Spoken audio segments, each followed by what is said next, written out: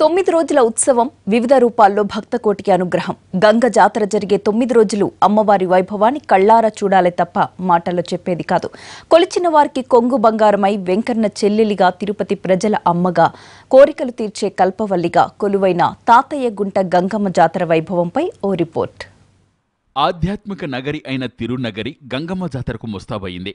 తాతయ్యగుంట గంగమ్మ దేవత జన్మదినమైన చిత్రీ నెల చివరి వారంలో ఉత్సవాలు జరగటం ఆనవాయితీగా వస్తోంది. ఇవాటి నుంచి వారం పాటు అమ్మవారి ఉత్సవాలు అంగరంగ వైభవంగా జరుగుతాయి.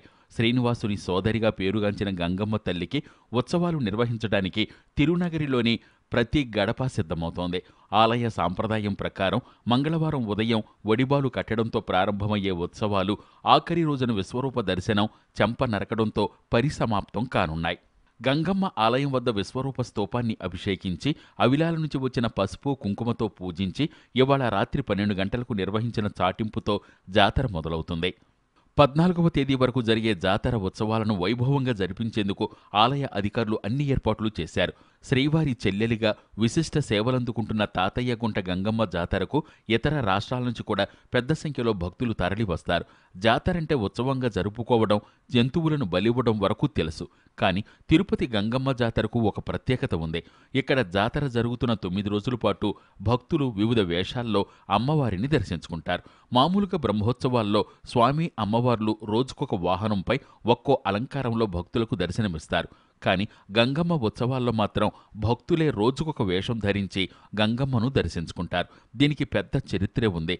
గంగమ్మ ఇక్కడ ఎలా వెలసింది ఎందుకు వివిధ వేషాలు వేసిందన్న దానికి చాలా కారణాలున్నాయి.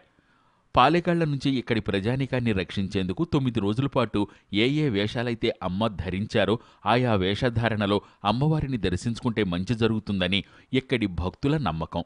మరో విషయం ఏంటంటే జాతర చాటింపు వేసిన నాటి నుంచి ఎవ్వరూ ఊరి పొలిమేరలు దాటకూడదన్నది నియమం. ఇక జాతర చివర అమ్మవారి చెంపనరిగే ఘట్టంలో పాల్గొనడానికి భారీగా భక్తులు తరలి వస్తారు ఆ ఘట్టం తర్వాత విగ్రహానికి ఉన్న బంకమ్మను దక్కించుకునేందుకు పోటీ పడతారు. అది ఇంట్లో ఉంటే శుభాలు జరుగుతాయని భక్తుల నమ్మకం.